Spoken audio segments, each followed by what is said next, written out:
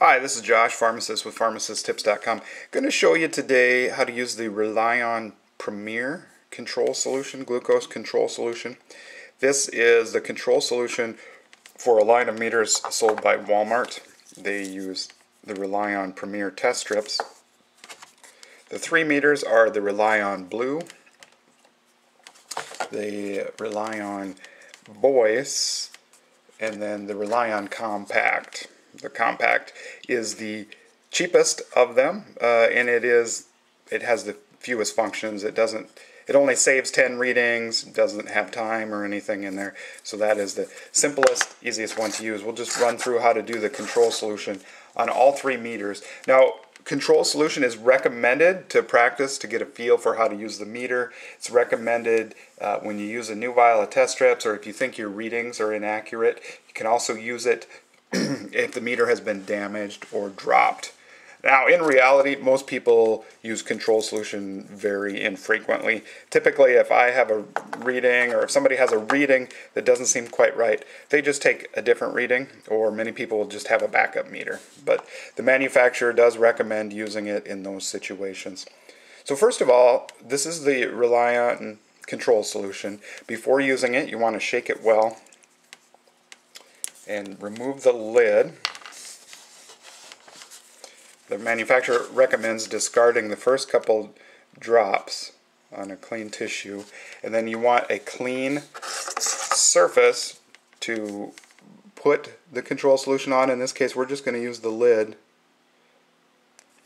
Okay, so there's this drop there. We'll put the the Relion test strip in there.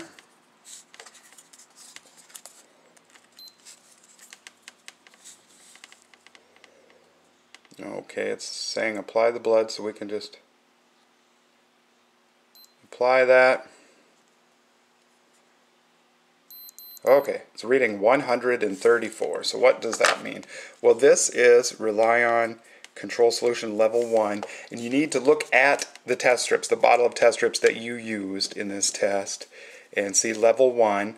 Um, control solution should for level 1 control solution should be between 119 and 161. So we're smack dab in the middle there. That would be fine. If we we're using control solution level 2, we'd want to see that reading fall between 205 and 227.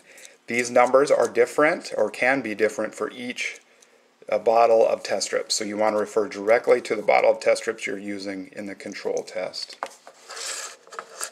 Now we'll, I'll show you how to do this with the Relion Blue. It's the same basic principle, except you just want to flag it as a control solution test so it doesn't get calculated into your 7 and 14 day averages or saved in your meter as one of your blood sugar readings. So you insert the strip and then you hold down the button on the right hand side and that will cause it'll be a flashing control solution in the corner.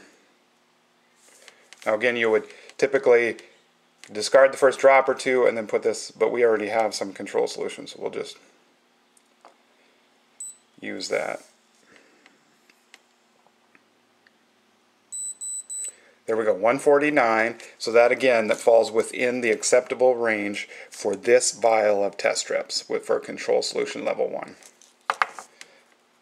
All right, so that was, we held down the the button on the right hand side for three seconds to get that control solution and that way it won't interfere with the averages of our other readings.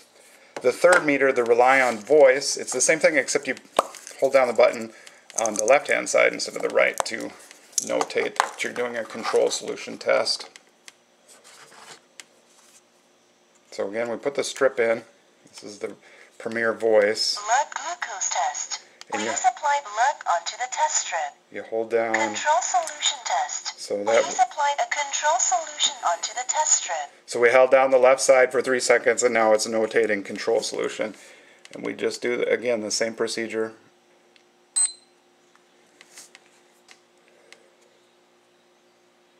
Your control solution test result is 137 milligram per deciliter. Okay, 137, right in the acceptable range with these test strips. So that is the procedure for the control solution. Again, you know, manufacturer recommends each batch of test strips when you use the meter for the first time to practice your technique, things like that. But in reality, I find people seem to use it very infrequently. Uh, but if you feel, uh, especially if you're type 1 diabetic and your readings are extremely important, I mean, use it whenever you feel like you need to. Type 2 diabetics, you know, we're watching for trends and things like that, so you probably don't need to use it as frequently. Again, you can check with your doctor.